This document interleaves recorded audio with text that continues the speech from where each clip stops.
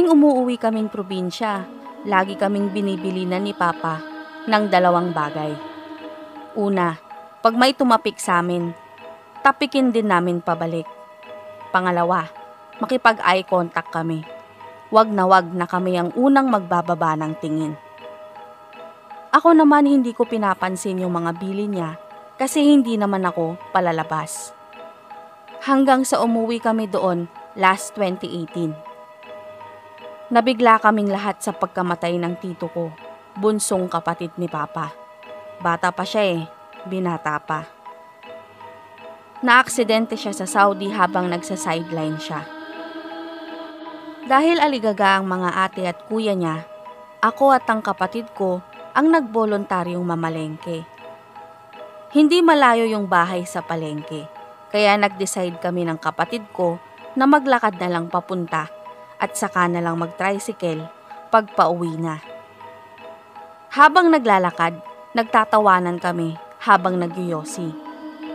Halos kalahating araw kasi ang biyahe namin at di kami nakapagyosi kasi walang chance na makapagtago kay Papa. Kwentuhan kami habang palingalinga sa mga nararaanan namin nung mapansin kong may kasalubong kaming lalaki. Sa gitna namin siya dumaan. Dahil nakita ko siya, nakaiwas ako. Kapatid ko, hindi. Nawalan siyang balanse, pero naalalayan naman siya nung lalaki. Tinanong pa siya nito, tapos tinapik siya sa likod. Pagka uwi namin ng kapatid ko, takbo siya sa CR. Akala ko noon, naninibago siya sa tubig. Poso kasi ang pinagkukunan ng inuming tubig nila tita. Kaya nagpabili na lang ako sa isang pinsan ko ng mineral water. Kaya lang, naging panay-panay pa rin ang pagbabawas ng kapatid ko kahit pinainom na siya ng gamot. Hanggang sa napansin na ni Papa, tinanong niya kami kung may tumapik ba sa amin. Kapatid ko ang sumagot. Si Papa, nahampas yung pinto ng CR na ikinagulat ng kapatid ko. Galit na si Papa. Bakit daw kinalimutan namin ang bili niya kung kailan may edad na kami? Nag-explain ako sa kanya na parang harmless naman yung lalaki at baka sa tubig lang. Yung tito naming isa, pinadescribe yung nakabangga sa kapatid ko. Ayun, hinampas na naman ni Papa yung pinto. Kahit gabi na, umalis siya kasama ng isang pinsan ko. Pupuntahan daw nila yung manggagamot.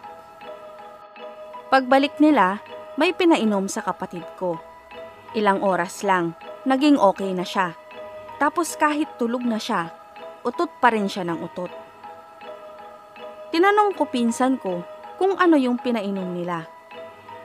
Pinaglagaan daw ng balat ng mansanas yun.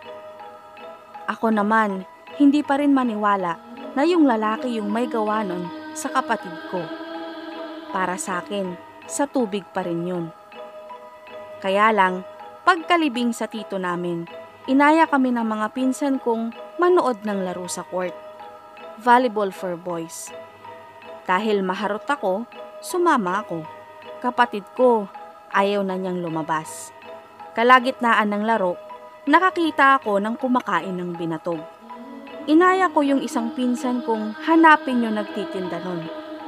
Dahil sabik na sabik ako sa binatog, ang bilis kong maglakad. Napag-iwanan ko yung pinsan ko. May nakabangga ako.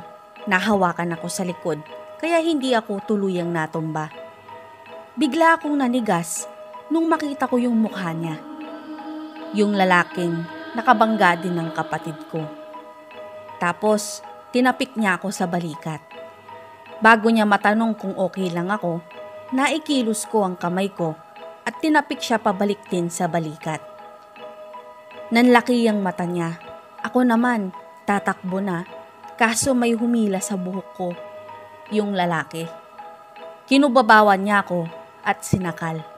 Sabi niya, walang hiya ako. May sumipa sa kanya para maalis sa ibabaw ko, pero pilit pa rin niya akong inaabot. Dumating naman pinsan ko na may hawak ng binatog. Sinaboy niya sa mukha ng lalaki yon at hinila na ako palayo. Natigil yung laro.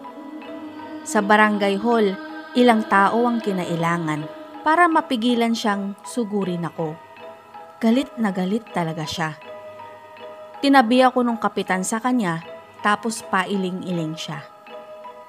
Ilang minuto bago dumating si Papa, namimilipit na sa sakit ng tiyan yung lalaki. Kasabay ni Papang dumating yung isang matandang babae. Siguro nanay nung lalaki. Nagtitigan sila ni Papa. Feeling ko nga hindi kumukurap si Papa. Tapos, yung babae ang unang nagbaba ng tingin. Pagdating sa bahay, ang tanong ni Papa sa akin kung naniniwala na ba ako. Hindi na lang ako kumibo. Kinabukasan, umalis si Papa ng maaga kasi mamimili ng mga gulay na iuuwi namin sa Manila. Gising na rin ako noon. Kachat ko na yung mga kaibigan ko. Bandang alas 6, nag-decide akong magtimpla ng kape. Nung matapos akong magtimpla, sa harap ako ng bahay nagkape. Kasi balak ko maglinis para hindi na isang gawin nila tita paggising nila. Nakakalahati ko na yung kape ko nung may magtao po. Babae. Lumapit ako. Tinanong ko siya kung ano yun. Gadibdib na gate lang ang naghihiwalay sa aming dalawa. Inabot niya sa akin yung supot na punong-puno ng mani. Yung may balat pa. Sabi niya, pinabibigay ni Papa. Kainin ko na raw habang mainit pa. Tanong ko sa kanya, sure ba siyang si Papa yung nagpapabigay nun? Oo daw. Sinabi niya pa yung pangalan ni Papa. Tinalikuran ko na siya. Pumasok na ako sa loob ng bahay. Pero bago ko isara ang pinto, sinabi ko sa kanyang allergic kaming pareho ng kapatid ko sa mani at alam yun ni Papa. Pagdating ni Papa, ang sinalubong ko sa kanya, naniniwala na ako.